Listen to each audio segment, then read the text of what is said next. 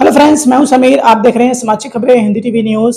जैसे कि आप सभी लोगों को पता है कि असेंबली इलेक्शन का डेट डिक्लेयर हो गया है और सभी पार्टियाँ अपने अपने कैंडिडेट डिक्लेयर कर रही हैं। बीजेपी पार्टी ने अपने कुछ कैंडिडेट का नाम डिक्लेयर किया है। जैसे हम बात करेंगे दहीसर विधानसभा से तो मनीषा ताई चौधरी का नाम बीजेपी ने डिक्लेयर किया है। कांदीवली से। श्री अतुल भातकर जी का नाम सामने आया है। चारको विधानसभा से। अगर देखा जाए तो योगेश सागर जी का नाम सामने आया है। मलाड पश्चिम से विनोद शेलार जी का नाम सामने आया है। गोरेगांव से श्रीमती विद्या जया प्रकाश ठाकुर जी का नाम सामने आया है। अंधेरी पश्चिम से श्री अमित सातम जी का नाम सामने आया है।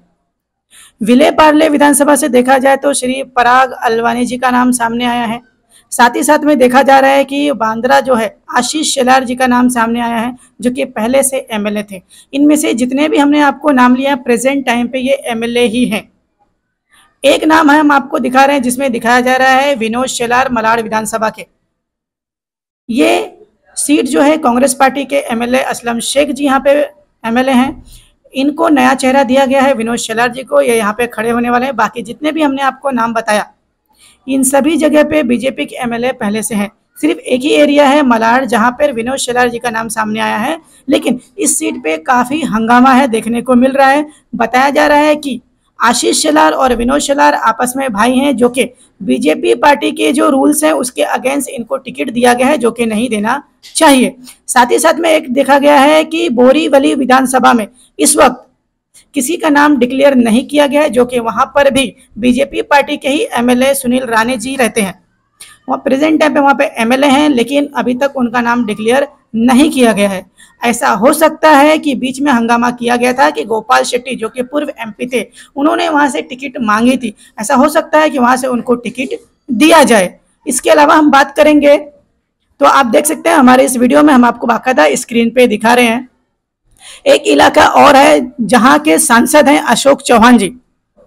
उनकी बेटी श्री जया चौहान को भी टिकट दिया गया है। ये भी बताया जा रहा है कि जो बीजेपी का रूल है कि एक फैमिली से दो लोगों को टिकट नहीं देंगे, उसका यहाँ पे उल्लंघन किया गया है।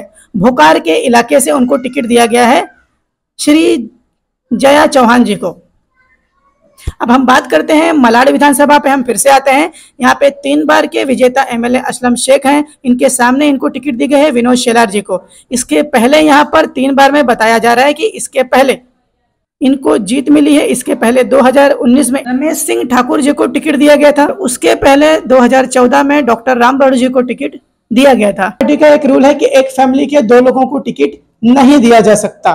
अगर आशीष शलार जी को वहाँ टिकट दिया जाएगा तो यहाँ विनोद शलार जी का टिकट नहीं होना चाहिए। ऐसा कुछ लोगों के, यहाँ के कुछ कार्यकर्ताओं ने हमें बताया।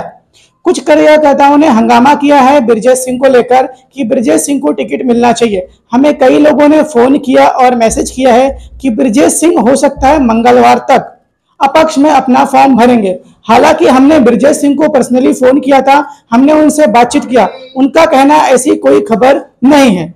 क्या आपका एनजीओ है और काम करने के लिए डोनेशन चाहिए? लेकिन ट्वेल्व जी सर्टिफिकेट नहीं होने की वजह से डोनेशन नहीं मिल पा रहा है। तो आप आर टी आई एस के के एजेंसी से संपर्क करें। आर टी आई एस के के एजेंसी से संपर्क करके ट्वेल्व ए जी सर्टिफिकेट बनवा सकते हैं। उठाए फ़ोन और लगाए कॉल।